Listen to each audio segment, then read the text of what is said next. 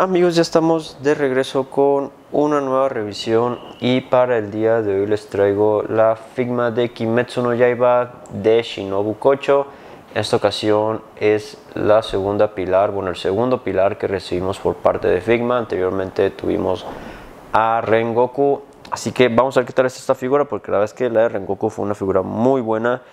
Pero recuerden que pueden comprar esta figura en Smash Toy Store, que es donde yo la compré Así que vayan a darse una vuelta a la tienda en su página de Facebook, les dejo el enlace ahí abajo. Pero bueno, pues ahora sí vamos a pasar a ver más detalladamente a Shinobu. Y bueno, pues aquí tenemos a Shinobu Kocho eh, más de cerca y obviamente si hay algo que no podemos discutir la Figma es el aspecto visual. La verdad es que en los rostros y los detalles siempre se lucen y Shinobu la verdad es que no es la excepción. Comenzando con la cara, pueden ver que tenemos un esculpido muy bonito. De verdad que esta figura de Shinobu es hermosa. Vean el detalle de los ojos tan grandes, ya característicos de Kimetsu no Yaiba. La boca muy bien pintada. El cabello pueden ver cómo está hacia adelante. Muy bien esculpido y muy bien detallado. Tenemos esa transición entre morado a un color más oscuro. Entonces, de verdad, en el aspecto visual, muy bonita esta figura. Tenemos allá al lado la oreja, el cabello recogido. Y por la parte de atrás tenemos pues este detalle del broche de la mariposa. Muy bien pintado y esculpido. De ahí pasamos al resto del cuerpo. Y como ya sabemos, en Figma tenemos todos los jaboris de plástico esculpido. Aquí no utilizan tela, lo cual a algunos les agrada, a otros no tanto. Pero pues en general el traje muy bien detallado, muy bien esculpido. Tenemos todos los botones en dorado. Eh, en esta ocasión el traje es como un morado muy oscuro. Tenemos el cinturón en color blanco con los detalles en plateado, todo bien cuidado. Aquí tenemos el peg donde vamos a insertar la funda que más adelante les voy a mostrar. Los pantalones, la línea central, algunos dobleces esculpidos. Por la parte de abajo pues este patrón que se repite en el Haori con el blanco, azul y rosita muy bien difuminados. De este lado tenemos las sandalias, por la parte de abajo tenemos las suelas. Y ahora sí enfocándonos en el jaori, pues pueden ver que tenemos de este lado las mangas, obviamente con esa forma que al extenderlas parece una mariposa. Me gusta muchísimo el trabajo de la pintura, todas las líneas negras y el degradado del azul y rosita, la verdad es que están excelentes. Por la parte lateral pueden ver que está dividida en dos piezas. Nuevamente ese trabajo de pintura muy limpio. La verdad es que está muy limpio todo, muy bien aplicado, muy fino. Me encanta cómo se ve el negro. La verdad es que creo que les quedó excelente. Pueden ver que por la parte de abajo está dividida en dos piezas que nos van a ayudar en la articulación. Y mi única molestia hasta ahorita con la figura definitivamente son las piernas Pueden ver que al igual que el Nanami, vean, muy flojas. Entonces es lo que comentaba, que el parecer se está haciendo habitual en las figuras de Figma. Afortunadamente hasta el momento se sostiene, se sostiene en las, en las poses. Aquí se, se, baja un poquito, pero es más porque pega con el este. Solo es cuando están derechas, algo así como el Tron, cuando están derechas y se sienten un poquito suaves. Entonces como que no tienen esa estabilidad que uno quisiera en sus figuras. Pero de ahí más, muy bonita figura visualmente. como lo dije en un inicio, Figma siempre se ha lucido por el detalle tan bonito en sus figuras y sobre todo el parecido con sus contrapartes del anime. Así que ahora vamos a pasar rápidamente a los accesorios. En primer lugar tenemos esta de Shinobu sonriendo y con los ojos cerrados. Y tenemos esta otra más parecida, solamente con la mirada hacia un lado y la boca un poquito más cerrada. De ahí tenemos la funda de nuestra espada, igual muy bien esculpida y detallada. Tenemos ese, esta línea en dorado, acá parte de la correa y pues el mango con su forma ahí también de mariposa, el cual podemos retirar para cuando estemos utilizando la espada. Esta ocasión pues no, no son fundas funcionales. Y para colocarla en la figura pues simplemente hay que insertarla en el PEC que les mencioné anteriormente, lo cual esto sí se vuelve un poco difícil porque el Hawari de plástico pues sí se entromete, en la movilidad se entromete muchísimo. Eh, de hecho pues en la articulación vamos a hablar de eso. Eh, pueden ver que aquí estoy batallando para colocarlo, así que voy a tratar de hacerlo fuera de cámara. Bueno, pues ya ahora sí, después de pegarme un tiro ahí con la figura, finalmente pude. Y pues al estar en un ball joint podemos articular un poco. Pero pues nuevamente va, a chocar mucho con el Jauri de plástico, lo cual pues sí me parece un poco, un poco triste. Pero pues pueden ver que ahí tiene un poquito de, de juego. De ahí tenemos la espada desenfundada y pues vean lo delgada que es, al igual que la Boss Mod. Así que por favor tengan mucho cuidado porque en esta ocasión no tenemos ningún repuesto, así que si la rompen pues despídanse del arma. De ahí nos incluyen este par de efectos translúcidos que pueden ver que son las mariposas que van desde un rosita muy vivo a uno cada vez más translúcido, entonces esa sensación como de desvanecimiento. De ahí pasamos a las manos intercambiables, comenzando con un par de puños para sostener la espada, estas un poquito relajadas y acá tenemos una apuntando. Y esta con dos dedos hacia el frente y el pulgar. Y por último tenemos nuestro stand de Mafex, en esta ocasión es el grande, acá tenemos la, el brazo. Y tenemos estas dos que son para sostener pues el efecto que les comentaba hace un momento. Para eso pues simplemente hay que colocarlas en el peg y pues ya podemos maniobrar ahí con las piezas como nosotros queramos. Solo si tengan mucho cuidado.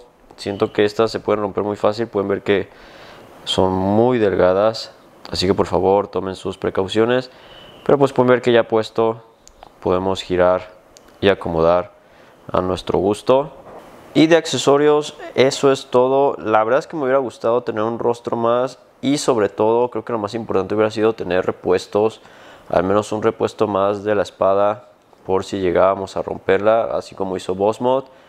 Pero bueno, pues ahora vamos a pasar rápidamente a la articulación, comenzando con la cabeza.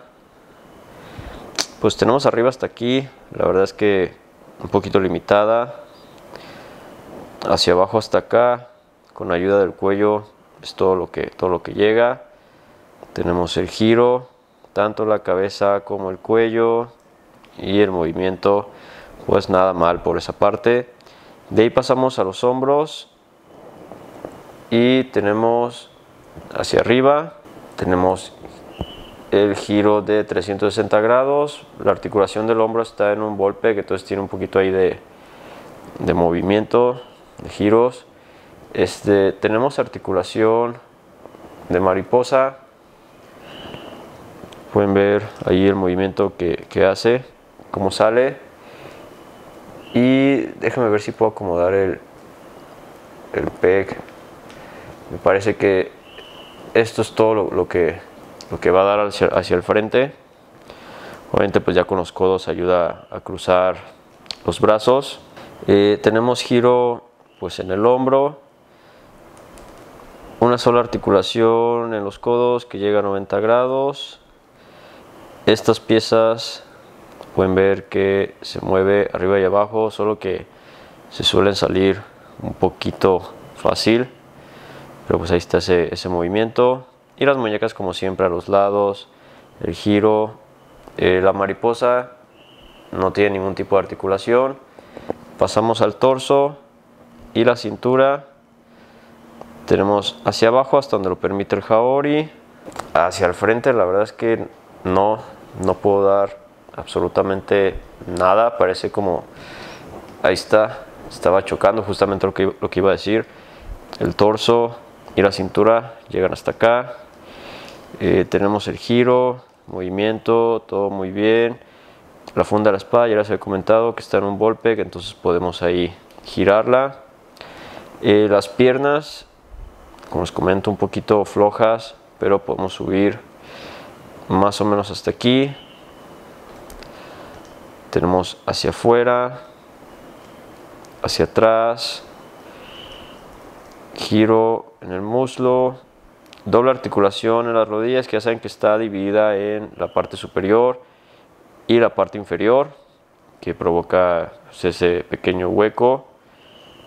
Tenemos giro y las sandalias hacia abajo, hacia arriba, y hacia dentro y hacia afuera un poquito, la punta del pie.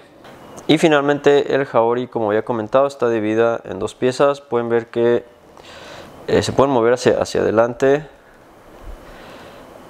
Podemos hacerla un poquito hacia atrás. La verdad es que no, no, no tanto como me gustaría. Pueden ver que sí está algo limitado el movimiento del jaori. A ver si alcanzan a ver ahí la articulación. Entonces, eh, realmente mi, queja es la misma que, llevo diciendo en todas las figuras de, Figma. La verdad son figuras muy bonitas, pero en lo funcional, la verdad es que dejan mucho que desear, pero mucho. Es una lata, es una lata definitivamente posarlas. Hay que tener mucha paciencia para acomodar todas las piezas. Eh, los jaoris se entrometen mucho, la parte de abajo se entromete mucho con, la funda, con las piernas, incluso para mover el torso.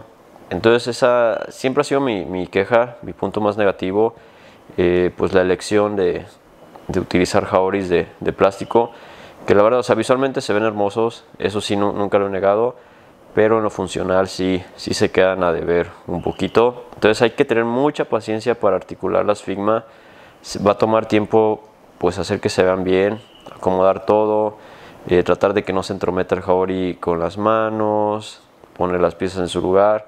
Y si a eso le, añadimos el hecho de que las piernas se mueven más fácil de lo que deberían, entonces como que si hacen el articular la figura pues una experiencia pues un poquito negativa.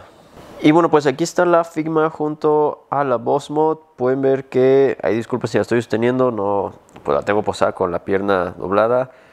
Eh, pueden ver que en cuanto a colores, son muy similares, el esculpido también es muy similar, la altura es la misma, entonces comparten muchas cosas en común, ambas figuras, solo pues la gran diferencia, los jaoris, la verdad es que como lo comenté, para mí sí es una lata posar las de plástico, pero si son de los que están mezclando ambas líneas, entonces no van a tener ningún problema. Pueden ver que son muy similares, más allá de, de lo funcional y el jaori de tela y el de plástico. Y bueno amigos, pues ya para terminar con la revisión, la verdad debo decir que no me voy del todo contento con esta figura y pues esto es algo que he repetido mucho en la línea de Figma. La verdad es que ningún lanzamiento me ha convencido mucho más allá de Rengoku.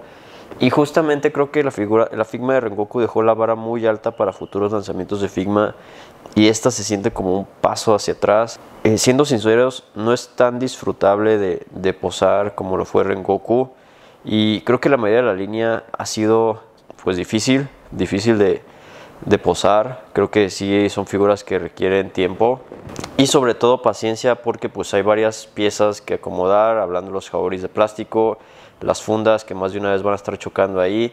Entonces, eh, son figuras muy bonitas, de verdad, muy, muy, muy bonitas y eso lo he remarcado muchísimo en las revisiones. Pero para mí el problema siempre va a estar en lo funcional y creo que no importa cuántas figuras lancen, este error se va a seguir repitiendo por los jaboris de tela, pues fue el diseño que eligieron. Entonces creo que eso es, eso es algo que va a arrastrar la línea por mucho tiempo. Pero pues esto pues ya es algo muy personal. Sé que hay muchas figuras que prefieren mil veces estos, estas, estas vestimentas de, de plástico por encima de la tela y esas personas no van a tener mucho problema. Entonces, pues no diría que es un aspecto tan negativo, porque al final de cuentas, pues el gusto se rompe en géneros, ¿no? Para mí es negativo eh, por el hecho de, pues de manipular la figura, lo, lo, vuelve muy difícil y tedioso para mí, pero de ahí más, una figura muy bonita. Los accesorios, como comento, creo que pudo haber más. Y el hecho de, que las piernas estén un poquito flojas, que es un error que se ha cometido al parecer muchos lanzamientos de, Figma, pues sí hacen que, no disfrute del todo la figura. Pero si buscan una que sea de Shinobu Kocho y que esté bonita, Figma, o sea, lo logra sin ningún problema. Pero no sé ustedes qué piensen, la verdad es que me gustaría mucho leerlos en los comentarios, así que ahí los espero. Y como siempre, si les gustó el video, no olviden dejarme su like. Suscríbanse si no lo han hecho, compartan con sus amigos. No olviden darse una vuelta en la tienda de Smash Toy Store, que es con los que compré esta figura. Así que ahí los espero. Y nos vemos en la siguiente revisión. Hasta la próxima.